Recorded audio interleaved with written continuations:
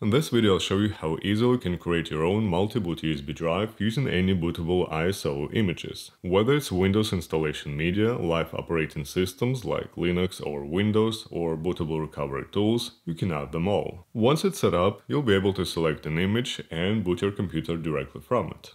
Recently, I reviewed a hardware device that offers the same functionality, but you can achieve almost the same thing using a free application called Ventoy, the link down below. Ventoy supports different image files and both legacy and UEFI boot modes, making it compatible with old and modern computers. So simply download the latest zip version of the app.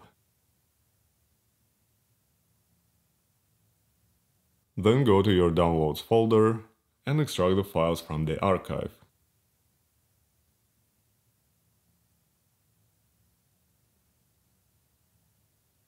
Before continue, let's talk about the USB drive. You can use any external USB storage like a hard drive, SSD or a simple flash drive. The capacity depends on your needs. For several live systems and installation media, 16 gigs should be enough, but if you also want to store some personal data, go with the larger one.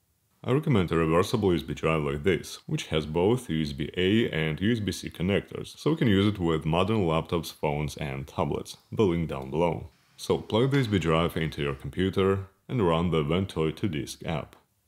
Select your drive from the list and click Install. Make sure you don't have any valuable data on the drive as it will be lost during the process.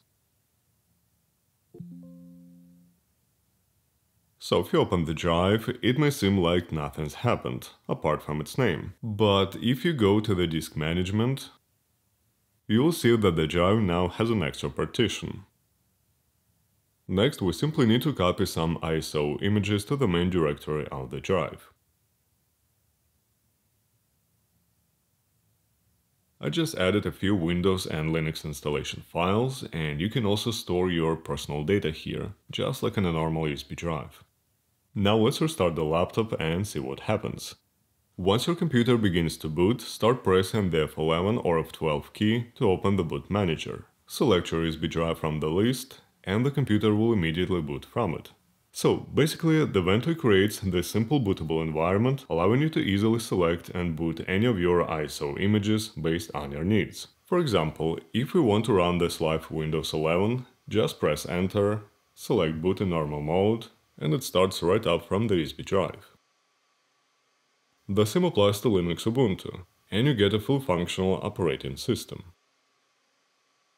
If you want to reinstall Windows, you can easily run its installation media. Or maybe you want to boot your PC using recovery tools like Acronis. Super easy. Ventoy also has a menu down here with extra features, where you can adjust boot settings, change the language, screen resolution and more.